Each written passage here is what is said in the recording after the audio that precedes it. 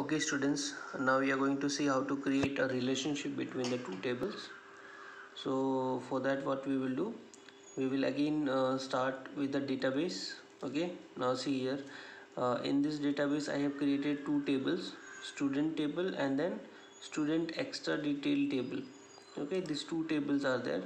In the first table I have this many details inserted okay and in the second table I have this many this many data inserted.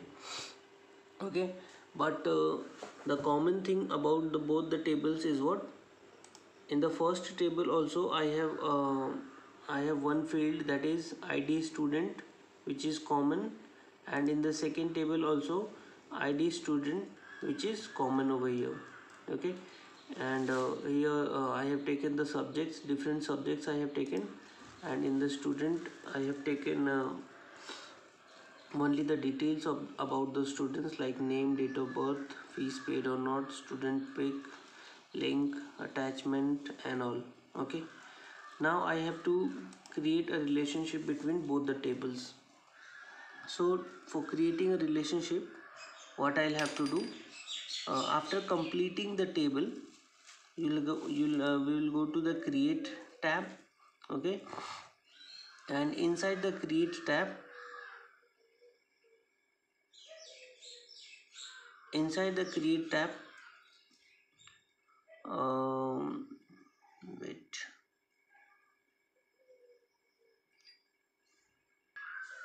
Okay so after creating uh, both the tables I will go to uh, a database tool.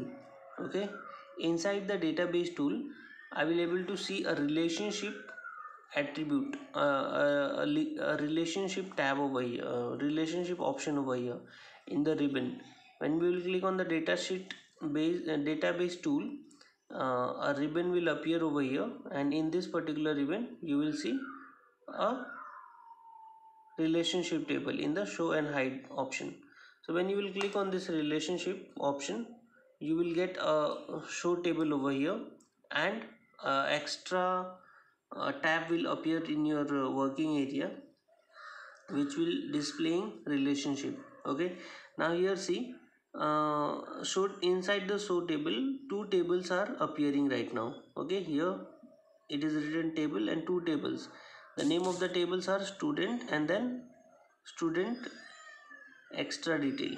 Okay? If you will click on the query you will able to appear you will able to see queries. If you will have if you have created any query then you will able to see otherwise you will not. If you will click on both then you will able to see the tables as well as the query both together. So, okay so uh, here we have to just work with the table itself. So what I will do you will have I, I will have to add the tables in the working area. So I will select one table and then I will click only one okay? I will click here only once. The table has appeared. Now this is very important. If you will click five times over here you will able to see five different tables. But the name will be different. You can see here. If I am clicking it second time see this the same database the same table has been appeared over here. But the name of the table is different. See I have written here student and here it is appearing student underscore 1 it is it appears by default. The name changes by default. But I have never I have not created anything any table with such name. You can see here. My table name is student table and second table name is student stu extra detail table. Okay? So this table if you will work with this table you will never able to create your relationship okay so you will have to delete this one. Okay I, will show you how to delete it. Uh, first uh, close this. Okay right click on this and then hide. Okay it, it never gets deleted. So again you will have to click on the show table. Okay and I have to add the second table over here. I will click on the second table detail and then add. Now see the second table has appeared. Now close it.